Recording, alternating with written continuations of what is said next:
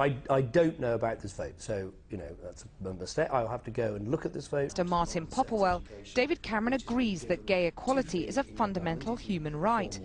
That would suggest that on such issues, his parliamentarians should be made to vote according to the party line.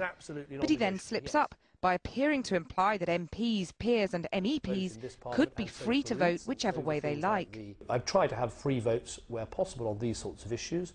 Um, but uh, but I'm responsible for the votes here. I, I don't. I'm afraid. Sorry, it's not a very good answer. But I don't. I don't. You know, I'll have to go and look at this particular vote in, in the European Parliament. But when you, you when you say you, you often have free votes in this uh, Parliament, that the Parliament from which you're responsible, if you accept, as you did at the beginning of the interview, that gay equality is basically a, a fundamental No, sorry. Actually, you're right. You're right. No, I mean, I shouldn't didn't, be I'm not the, the answer about. Sorry, sorry. Um, you're right. The, the two. The, sorry, the two. Um, uh, the two. The two votes are, are very different. Sorry.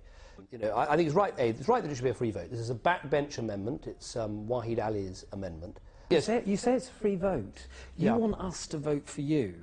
If we No, well, I vote think- for hold on. you, we want you to Yes, vote for you know, I do, I you know. do, So I do. Do you know, can we, can we stop for a second? Is it, I, I really, I really want to answer these questions. It's really complicated. I'm find, it's very, either, either can we do a television interview or can we do a, a, a press interview? I'm finding, I'd almost like to start completely from scratch.